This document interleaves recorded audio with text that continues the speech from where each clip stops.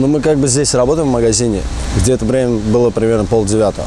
Ну, как бы обычное рабочее время. И вдруг крик услышали. У нас часто посетители есть местные, все как бы уже все друг друга знаем. Он впервые увидел этот инцидент, и он крикнул нам, пацаны, выходите. Мы быстро выбежали, поняли, что-то не то, потому что громко крикнул. Выбежали на улицу и кадров как бы увидели, что незнакомый молодой человек, как бы крупного телосложения, что-то вытягивает у девушки сумку. И я в это время говорю, тормози, как бы, ну, думали, может, семейный разбор, как бы, чтобы не лезть, мы откуда знаем, кто это. И в это время я девчонок у него как бы забрал, магазин завел, я говорю, что случилось? И в это время они рассказали, что вот грабить хотел туда-сюда, и у одного увидел телесное повреждение, что по лицу нормально удар. Мы стартанули за ним, короче, кварталы где-то три примерно бежали, и своим с виду потеряли, но мы чувствовали, что это, ну, логически он не мог так быстро бежать. И во двор один забежали, он во дворе был. С двора провели магазин, и все, в магазине как бы держали, и вызвали как бы сотрудников КБР и полицию. Он сам что говорил, сам задержанный? Что по дороге предлагал, опустите меня, я вам денег и так далее. Но мы ему объяснили, что деньги кто берет, какие люди как бы. На его месте как бы, ну, могли вместо этой девушки, наши, к примеру, да, жены, сестры и так далее оказаться. Зачем это надо? А вы видели, как он девушку избивал?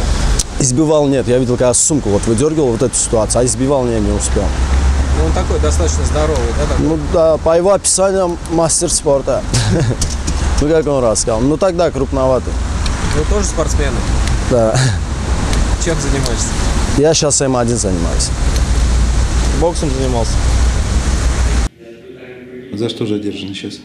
161 Обстоятельства задержания. попытка грабежа. Подробнее расскажите.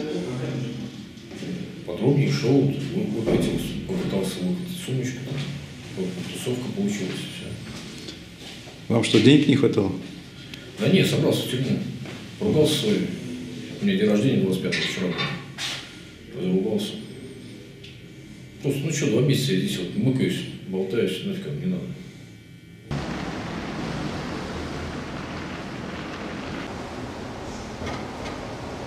Находится уголовное дело, возбужденное по факту открытого хищения имущества гражданки а, с применением насилия опасно для жизни и здоровья по статье 161 части 2 Уголовного кодекса, наказание за которое предусмотрено в виде лишения свободы сроком до 7 лет.